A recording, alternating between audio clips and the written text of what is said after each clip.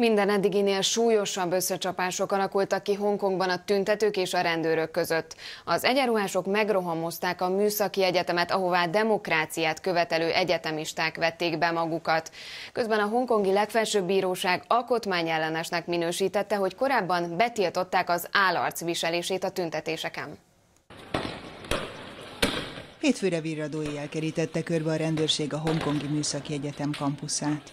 A területen tüzek égtek. A tüntetők molotov koktéllal dobálták meg a rendőröket, de nyilakat is kilőttek rájuk. Az egyenruhások könygázzal, vízáldóval igyekeztek oszlatni a diákok csoportjait. Starting from evening, I stay here. Először bepánikoltam, mert a rendőrség azt mondta, hogy azokat, akik a kampuszon maradnak, akár tíz év börtönre is ítélhetik zavargásban való részvételért. Később azonban megnyugodtam, mert aki itt van, mind összetart, a demokrácia és a szabadság érdekében, mondta egy hallgató. A rendőrök hajnalban nyomultak be az egyetem területére. Mintegy 200 diák lehetett a kampuszon. Az egyetem elnöke békés távozásra szólította fel a hallgatókat. Protesters on the PolyU campus. Állandó kapcsolatban vagyok a rendőrséggel. Biztosítottak bennünket arról, hogy ha a tüntetők nem alkalmaznak erőszakot, akkor ők sem folyamodnak erőhöz, sőt lehetővé teszik, hogy a demonstrálók békében elvonuljanak, mondta a vezető. Ez azonban nem állította meg az erőszakot. A rendőrök több demonstrálót is őrizetbe vettek.